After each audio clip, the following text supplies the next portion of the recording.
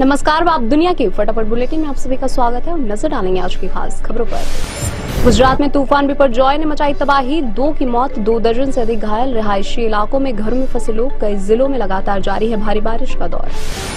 गुजरात में बिपरजॉय तूफ़ान से 40 से अधिक गाँव हुए प्रभावित, करीब 1000 गाँव में बिजली गुल, तीन हाईवे हुए बंद, प्रभावित इलाकों में एनडीआरएफ के साथ एसडीआरएफ के जवान बचाव राहत कार्य में जुटे।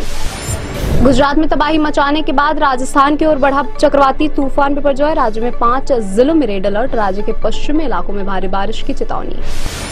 राजस्थान के साथ मध्य प्रदेश में भी तूफ़ान बिपरजॉय दिखाएगा अपना असर। ग्वालियर, चंबल संभाग में बारिश को लेकर येलो अलर्ट 40 से 50 किलोमीटर की रफ्तार से चलेगी तेज हवाएँ मोदी सरकार के दिल्ली के नेहरू मेमोरियल का नाम बदलने पर सियासी बवाल। बोले कांग्रेस अध्यक्ष मल्लिकार्जुन खड़गे, जितना इतिहास नहीं, वह बदल रहे इतिहास। राजनाथ सिंह का पलटवार, सभी प्रधानमंत्रियों का योगदान। पश्चिम बंगाल में पंचायत चुनाव में हिंसा को लेकर गिरी ममता सरकार। राज्यपाल ने हिंसा प्रभावित इलाकों का किया दौरा। सीएम ममता ने भाजपा पर लगाया हिंसा फैलाने का आरोप। प्रधानमंत्री नरेंद्र मोदी ने मोटे अनाज के फ़ायदे और दुनिया में भूखमरी को कम करने की उनकी क्षमता को बताने के लिए लिखा गीत। मोदी ने यह गीत ग्रैमी पुरस्कार विजेता एवं भारतीय अमेरिकी गायिका फाल्गुनी शाह के साथ मिलकर लिखा है। बिहार में नीतीश कुमार मंत्रिमंडल का विस्तार, सोनबरसा एसटी सीट से तीन बार के विधायक रत्नेश सदा ने मंत्री पद की शपथ ग्रहण की। बिहार के मुख्यमंत्री नीतीश कुमार का दावा, हिंदुस्तानी आवाम मोर्चा पार्टी के संस्थापक जीतन राम मांझी भाजपा का लाभ पहुँचाने के लिए महागठबंधन सहयोगियों से कर रहे थे जासूसी। महागठबंधन से उनका बाहर निकलना अच्छी बात। कर्नाटक में धर्मांतरण कानून रद्द होने पर बिफरी भाजपा, बोले मध्य प्रदेश के गृह मंत्री नरोत्तम मिश्रा, कांग्रेस का हाथ जिहादियों के साथ। राहुल और प्रियंका से पूछे सवाल। प्रधानमंत्री नरेंद्र मोदी 20 से 25 जून तक अमेरिका और मिस्र की यात्रा पर जाएँगे। द्विपक्षीय संबंधों को प्रगाढ़ बनाने पर होगी चर्चा। प्रधानमंत्री नरेंद्र मोदी का जी ट्वेंटी देशों के कृषि मंत्रियों से कहा, वैश्विक स्तर पर कृषि क्षेत्र के समक्ष आई विभिन्न चुनौतियों से निपटने के लिए वैश्विक खाद्य सुरक्षा हासिल करने के लिए सामूहिक कार्रवाई के तरीकों पर विचार करें। तमिलनाडु के विल्लुपुरम की एक अदालत ने निलंबित आईपीएस अधिकारी राजेश दास को एक अधीनस्थ महिला अधिकारी से जुड़े यौन उत्पीड़न मामले में शुक्रवार को दोषी ठहराया।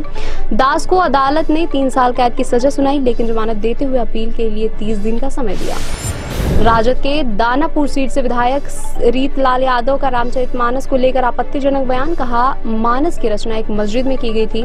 इससे पहले बिहार के मंत्री चंद्रशेखर ने भी मानस के दोहे को लेकर दिया था आपत्तिजनक बयान। बिहार के पूर्व मुख्यमंत्री जीतन राम मांझी ने कहा, एक बार फिर एनडीए के साथ जा सकते हैं। नीतीश कुमार तेजस्वी यादव को नहीं बनाएँगे मुख्यमंत्री।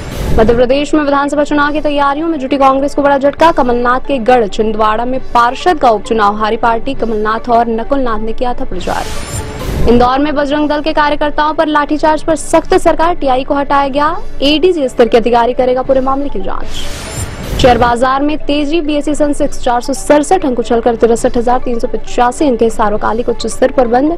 निफ्टी भी एक सौ अड़तीस अंक चढ़कर अठारह हज़ार आठ सौ छब्बीस अंक रिकॉर्ड स्तर पर पहुँचा। रामायण पर आधारित फ़िल्म आदि पुरुष ने किया निराश। फ़िल्म में एक्शन, ज़्यादा इमोशन कम। राम के कैरेक्टर के साथ नहीं कर पाई न्याय।